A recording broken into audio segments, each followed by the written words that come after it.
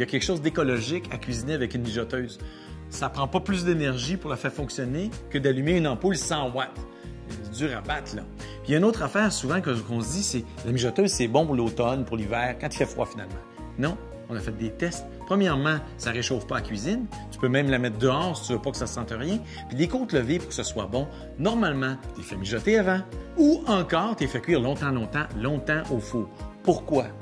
Pour rien. Tu prends tes côtes, les mets dans ta mijoteuse, tu fait cuire longtemps, tu vas travailler, tu vaques à ton quotidien. Et quand tu reviens, tu as juste à les griller, tu finalises, tu fais un spectacle finalement. Tu fais un spectacle, tu arrives épuisé, tu as fait des côtes levées. Tu as travaillé comme tous les autres, mais tu te plains pas, tu as fait tes côtes levées. John Lennon, euh, tout le monde soupçonne, ils veulent pas en parler parce que bon, euh, c'est des choses qu'on ne dit pas. Mais si John Lennon et Yoko Ono n'avaient pas eu une mijoteuse, le Bedin de Montréal n'aurait jamais eu lieu. Comment tu peux tenir aussi longtemps dans un lit sans manger? C'est impossible. Imagine une mijoteuse.